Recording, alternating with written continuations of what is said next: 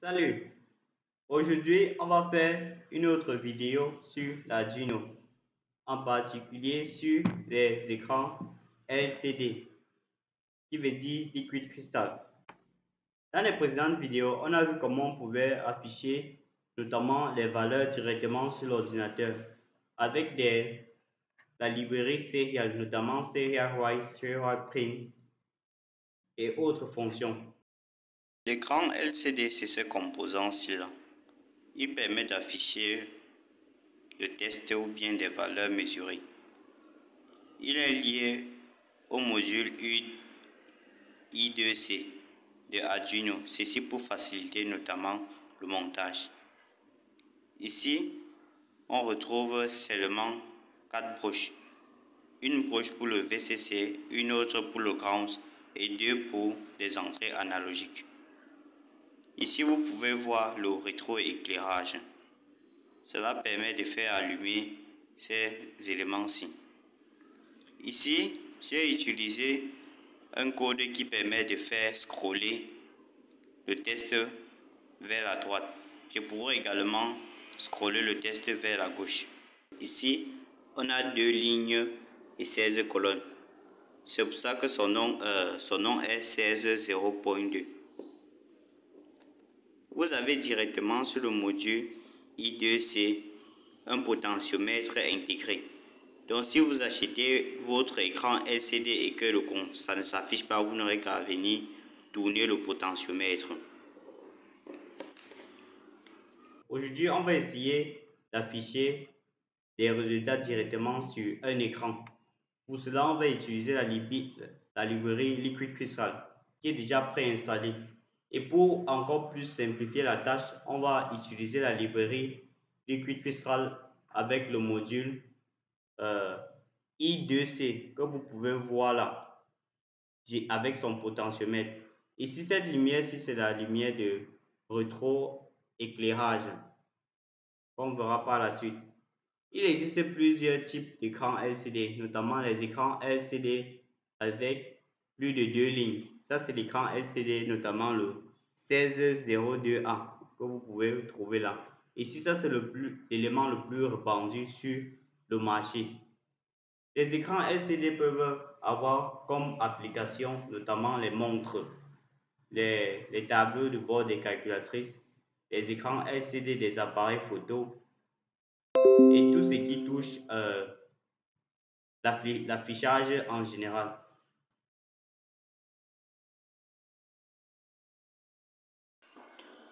Pour ce qui est du schéma de clavage, c'est très facile. Vous n'aurez qu'à suivre les instructions. Notamment, vous allez prendre la, la VCC et venir le, placer sur le 5 volts de l'Arduino. Puis, vous allez prendre euh, le ground, venir le mettre sur le ground.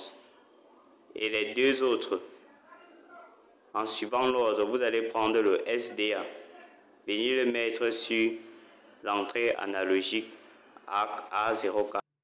Maintenant, on va passer au code. Ici, on va utiliser euh, notamment deux codes. Le premier code concerne l'écran LCD standard, c'est-à-dire qui permet d'afficher simplement un test. Le deuxième code, on va l'utiliser pour afficher notamment la distance avec le capteur ultrason qu'on a vu précédemment. On va devoir euh, expliquer ces deux-ci. Pour ce qui est du, premier code, notamment euh, l'affichage simple, ici on commence par déclarer la librairie euh, white. C'est très important. Puis la librairie Liquid Crystal I2C. Ici pour, pour installer cette librairie, c'est très simple vous allez venir notamment, ici vous allez venir sur Sketch, vous allez écrire ici Include Library, vous allez taper sur Add Zip Code. Vous n'aurez qu'à télécharger le zip code et directement cliquer là et l'installer. Comme je l'ai déjà fait, je ne compte plus le répéter. Mais c'est très simple, vous venez là et vous avez directement installé la librairie Liquid Crystal. Une autre méthode que je n'ai pas trouvé facilement, c'est de venir faire la recherche directement là. Ici, on déclare donc notre écran.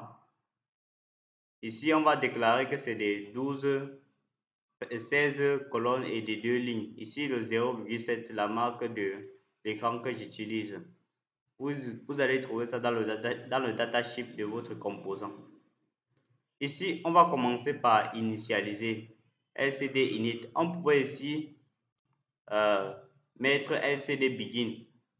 Mais comme j'ai vu que ça, ça va augmenter des lignes de code pour rien, je l'ai mis en commentaire. Mais dans certains cas, c'est obligatoire. Ici, le LCD Blackline, c'est pour le rétroéclairage. Si vous souhaitez avoir un rétroéclairage comme au début de la vidéo, vous allez déclarer cette fonction-ci. Ici, le LCD Print, c'est pour afficher un test à l'écran. Le LCD 7 cursor, c'est pour mettre euh, le curseur notamment à la ligne 0 et à la position 1. Ici, notamment, si vous souhaitez faire clignoter une LED, vous allez venir là, enlever ce composant-ci en commentaire. Ici, ce code, vous allez téléverser et vous allez voir comment le curseur va se mettre à clignoter. On va attendre que le curseur s'affiche. Ici, vous allez voir comment le curseur clignote. Ici, si on souhaite faire scroller le test affiché, on va également enlever celui-ci en commentaire. Et le test doit se mettre à scroller tout seul. Si vous souhaitez avoir toutes les librairies, vous n'aurez qu'à venir sur le site officiel de l'Arduino, notamment Liquid Crystal. Vous allez voir toutes les fonctions dont vous aurez besoin. Ici, clean, c'est pour effacer tout le, tout le test. Cette cuisseur, on a déjà vu white, c'est la même chose que euh, print. Cuisseur, no cuisseur, blink, etc. Ici, euh, c'est pour créer vos caractères. Vous avez la possibilité de créer vos caractères avec notamment code qui permet de mesurer la distance à l'aide du capteur ultrason. Si je déplace par exemple, vous allez voir comment ça change.